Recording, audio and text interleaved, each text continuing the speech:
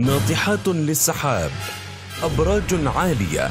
مطاعم وفنادق فاخرة. ماروتا سيتي. مشروع استثماري على أنقاض السوريين. فما قصة مدينة الأسد الحديثة؟ ماروتا كلمة سريانية تعني السيادة. وقد يكون الأسد